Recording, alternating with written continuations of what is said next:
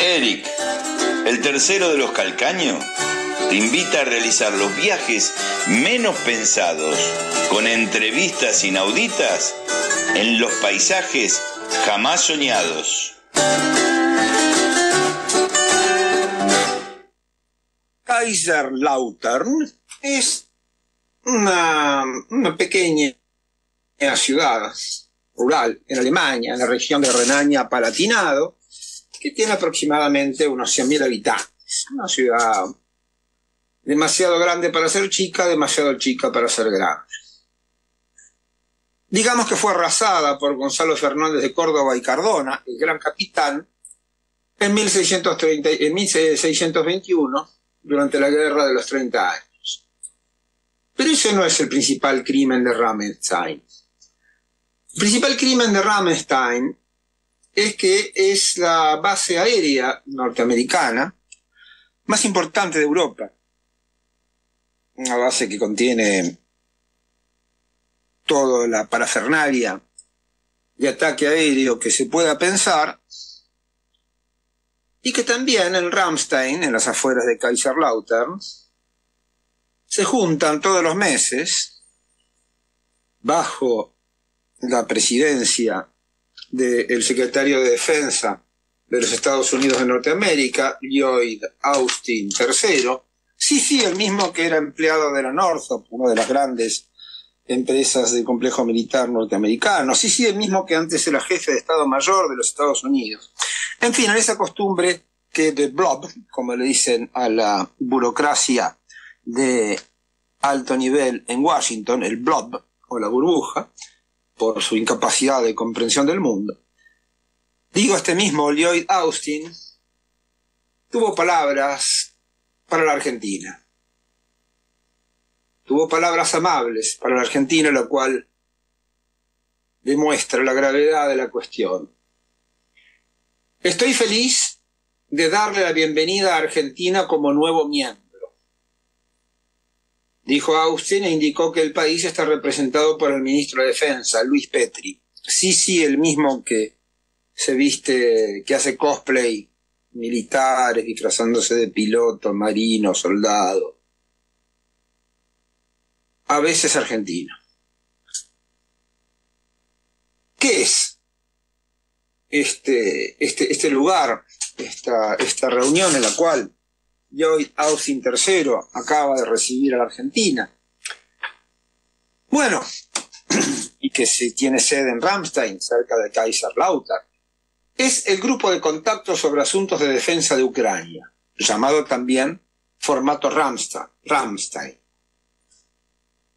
Eh, fue formado dos meses después del inicio de la operación militar especial de la Federación de Rusia y eh, tiene por objetivo coordinar toda la ayuda bélica a Ucrania. El mundo libre no dejará caer Ucrania.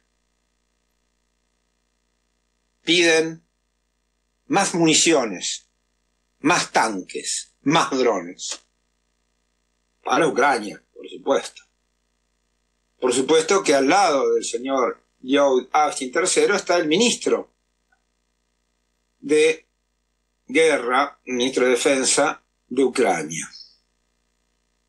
Eh, desde ya le, agradecen, los ucranianos le agradecen al grupo de Ramstein por los miles de millones con los cuales puede comprar eh, municiones, tanques, drones y también entrenamiento militar. Digamos que es el Estado Mayor de la OTAN en la guerra contra la Federación Rusa y ese es el lugar en el cual la Argentina acaba de entrar. Somos parte del Estado Mayor de la OTAN en la guerra de la OTAN contra Rusia. Son 57 eh, países. No estamos solos entre tantos tontos. Y las noticias difieren entre que sean en castellano a uso del público argentino y las que son en inglés a uso de los decisores. ¿Mm? Eh, siguiendo la costumbre de no obedecer al Congreso, el secretario Lloyd Austin dijo en la última reunión, que fue hace pocos días, creo que fue ayer antes de ayer, que aunque el Congreso norteamericano le niegue ayuda financiera a Kiev, el grupo de Ramsey le va a seguir dando ayuda a Kiev. Total, ya sabemos lo que valen los votos del Consejo, de los Congresos, perdón. El mundo no dejará caer a Ucrania. Esta coalición no dejará caer a Ucrania. Y el mundo libre no dejará caer a Ucrania. Volvió a recalcar Austin. Supongo que ya Luis Petri tenía las manos rojas de tanto aplaudir. ¿Mm? Eh, también dicen, sobre base de sus propias informaciones, que los rusos tienen 315.000 bajas y que la guerra le ha costado 211 mil millones de dólares a los rusos. ¿Recuerdan esos comunicados del ejército nazi cuando anunciaban en la Segunda Guerra Mundial la cantidad de millones de soldados rusos que habían perecido defendiendo la patria y que sin embargo siempre había más ejército rojo. Eh, ya que estaba de compras, el ministro ucraniano pidió por favor eh, si le podían mandar munición de 155 milímetros para la artillería, de 152 milímetros y también de 105, también para la artillería. ¿Mm? Alemania anunció que mandará 500 millones de euros más en ayuda militar, toneladas de municiones. ¿Mm? 10.000 este, 10.000 obuses también de la parte de la Bundeswehr, del ejército alemán, que evidentemente es mal perdedor. Eh, Alemania, Canadá y Finlandia, junto con, con la República Checa, van a comprar 800.000 obuses de artillería afuera de la Unión Europea para Ucrania. El ministro de Defensa de Kosovo una entidad creada por los Estados Unidos en los Balcanes, también va a anunciar apoyo, también va a dar apoyo aéreo a los ucranianos.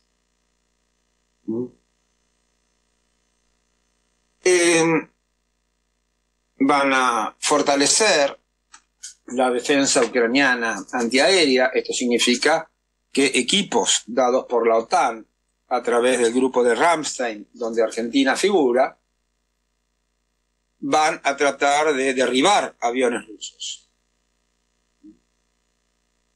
Eh, el ministro alemán de defensa dijo que los cielos sobre Ucrania eh, son de Ucrania, así que es nuestro objetivo común asegurar la superioridad aérea ucraniana. Por eso le compramos los F-16 a Dinamarca para después pasárselos a Ucrania. Así este, eh, podemos entrar en la OTAN, ya que estamos de hecho en la OTAN.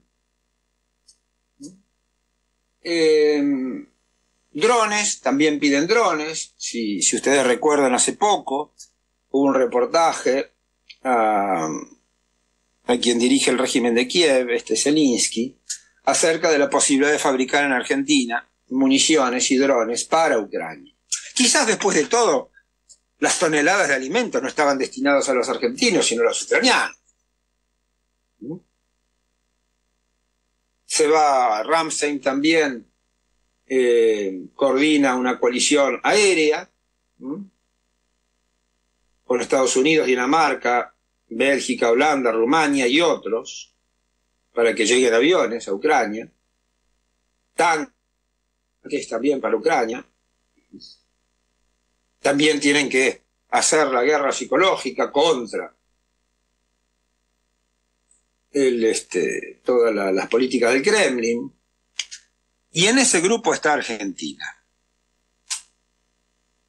No se discutió en el Congreso, obviamente, esto es un paso más acaso decisivo, en una entrada en guerra de la Argentina contra la Federación Rusa, o por lo menos en lo que podríamos llamar la iranización de Rusia. Luego de la intervención de la Argentina en los 90 en la guerra del Golfo, donde sí hubo intervención del Congreso, que votó unánimemente el envío de barcos al Golfo Pérsico, salvo un voto, el de un diputado entrerriano, Martínez Garbina. Pero bueno, así la Argentina participará o participó de esa aventura, nos costó el atentado a la Embajada de Israel, nos costó la AMIA. ¿Cuánto nos va a costar esto? Ah, claro, Irán es palabra prohibida en Argentina. Eh, compartamos organismos internacionales que van de las Naciones Unidas a la FIFA. Pero bueno, uno de los insultos más graves que se le puede hacer a un político argentino es decir que es pro-iraní.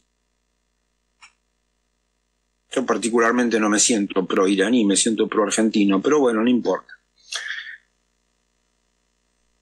En esta nueva membresía, con esos otros 57 países en el grupo de Ramstein, de Ramstein, yo me sé, Ramstein, en ese Estado Mayor de la OTAN para dirigir el esfuerzo de guerra contra Rusia, cualquier acontecimiento sangriento, terrible en Argentina, será inmediatamente atribuido a la Federación de Rusia, sea quien sea quien lo perpetre. Y es aquí donde en un rincón de Kaiserlautern, quizás en alguno de esos búnker excavados por los nazis, encontramos una puerta que cuando se abre es muy difícil de cerrar.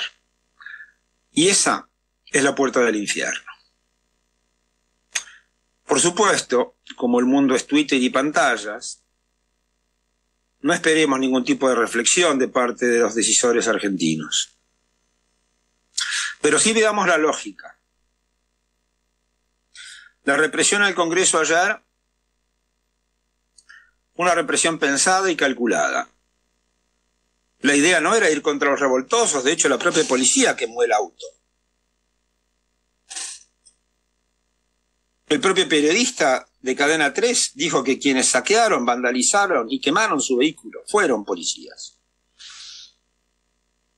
En esta, en esta cuestión, en ese intercambio entre la presidenta Villarruel y el senador de Pedro, cuando le dice, puedo evocar la historia de, de su familia, faltó un poquito de rapidez ahí para decir, sí, sí, por favor, me interesa saberla, porque seguramente Villarruel sabe dónde están la, eh, la, mamá y el papá de Guado, como debe saber dónde están los demás 30.000 compañeras y compañeros. Entonces, la idea es la de sembrar el terror. Cualquiera puede ser arrestado.